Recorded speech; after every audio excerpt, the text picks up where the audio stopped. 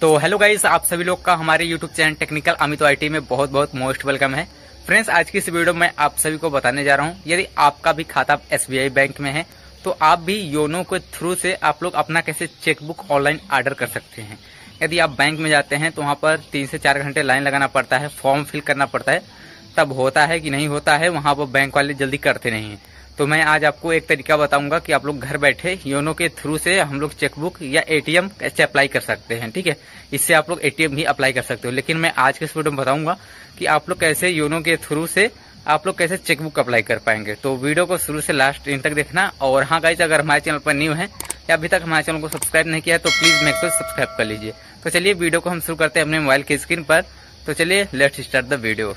तो hello friends चलिए हम वीडियो को शुरू करते हैं कि आप लोग कैसे यूनो एस के मदद से आप लोग कैसे अपना चेकबुक ऑनलाइन रिक्वेस्ट के लिए ऑर्डर कैसे कर सकते हैं ताकि आपके घर 10 से 15 दिन के अंदर आपके घर पहुँच जाए। तो घर बैठे आप लोग कैसे कर सकते हैं और आपको बैंक भी जाना नहीं पड़ेगा। तो चलिए पूरा प्रोसेस बताते हैं।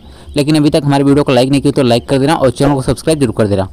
तो गाइज़ सबसे पहले अभी योनो एप्लीकेशन नहीं बनाए हैं तो प्ले स्टोर से आप लोग गाइज़ अपना यहाँ पर योनो एप्लीकेशन को इंस्टॉल कर लेना है, ठीक है?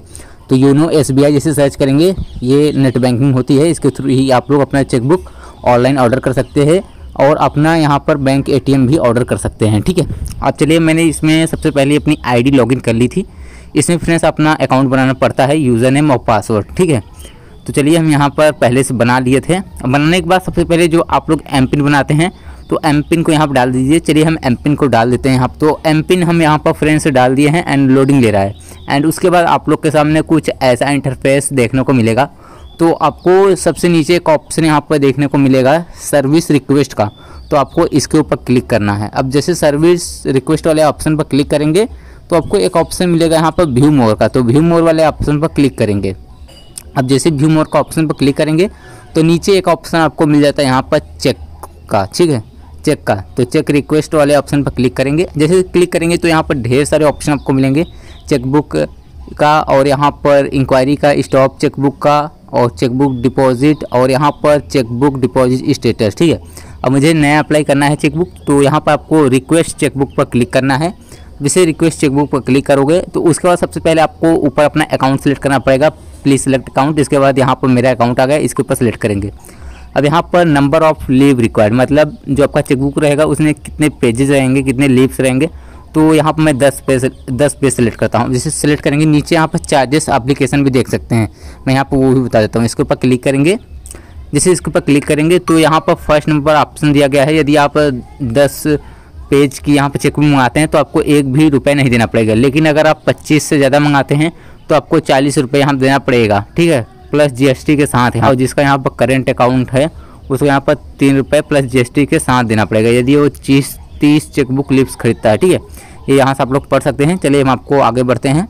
एंड मुझे दस चाहिए। उसके बाद यहाँ पर दोनों पर टिक कर देना है। और नीचे आपको एक ऑप्शन मिलेगा नेक्स्ट का तो नेक्स्ट वाले ऑप्शन पर क्लिक करना है। अब आपको एड्रेस सेलेक्ट करना है, जहाँ पर आप इसे लेना चाहते हैं। तो इसके ऊपर क्लिक करेंगे तो आपको ढेर सारे तीन ऑप्शन आएँगे। पहला रजिस्टर्ड एड्रेस जो आपके बैंक में, आपके खाते में लिंक है एड्रेस उसी एड्रेस पर आएगा आपका ये चेकबुक और यहाँ पर या लास्ट डिस्पैच एड्रेस उस पर भी कर सकते हैं। नहीं तो आप लोग यहाँ पर अपना एक नया एड्रेस सेलेक्ट कर सकते हैं, बना सकते हैं, जहाँ पर आप रह रह रहे हैं या किसी और जगह रह रहे हैं तो हम मंगा सकते हैं।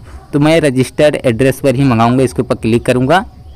अब जैसे रजिस्टर्ड एड्रेस पर क्लिक करूँगा ये देख लीजिए मेरा सारा डिटेल आ गया पिन कोड वगैरह आ गया। अब यहाँ पर आपको सिंपल सा नीचे नेक्स्ट का बटन दिखेगा नेक्स्ट बटन पर क्लिक करना है। अब जैसे नेक्स्ट बटन पर क्लिक करेंगे तो मेरा ये सेविंग अकाउंट है उसके बाद यहाँ पर सारा चीज़ आ गया। उसके बाद नीचे आपको कन्फर्म कर देना है। जैसे कन्फर्म करेंगे तो यहाँ पर लिख दिया thank you your chequebook request with reference number has been accepted accept कर लिया गया है।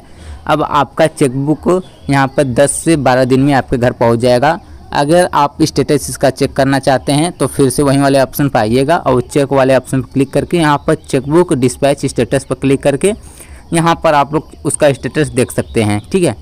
तो आपको बहुत ही आसान तरीके से मैंने बताया कि घर बैठे आप लोग अपने चेकबुक को कैसे योनो के थ्रू ऑर्डर कर सकते हैं, आपका चेकबुक आसानी से घर में आ जाएगा। लेकिन यदि आप बैंक जाते हैं तो बैंक में आपको वहाँ पर पाँच छः घंटे लाइन लगाना पड़ता है, तब जाकर आपका चेकबुक ऑर्डर होता है। तो ये बहुत आसान तरीका था। आप लोग घर बैठे योनो से ही चेकबुक ऑनलाइन ऑर्डर कर सकते हैं। तो वीडियो कैसे लगी आप लोग कमेंट बॉक्स में कमेंट कीजिएगा। मिलते हैं आपको फिर से नेक्स्ट वीडियो के साथ में।